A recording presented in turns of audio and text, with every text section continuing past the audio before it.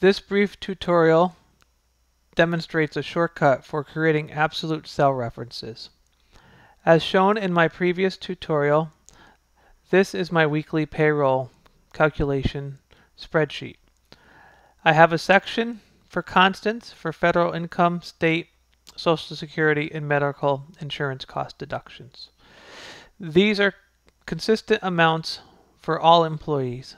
Hence, we need to have absolute cell references. As we showed before, creating an absolute cell reference allows us to easily drag and drop or copy formulas from one cell to an adjacent cell and have the constant stay the same.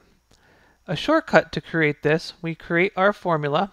In this case will be equals gross pay multiplied by the federal income tax rate and we're going to hit the F4 key. And you see automatically the dollar sign before the C and the dollar sign before the 14 is placed for us. So instead of us having to manually turn that into an absolute reference, the F4 key is the shortcut to make it a bit faster. This concludes the demo. If you have any questions or have any feedback, please contact me directly at my website, professorwolfe.com, or put your feedback below the video. Thank you.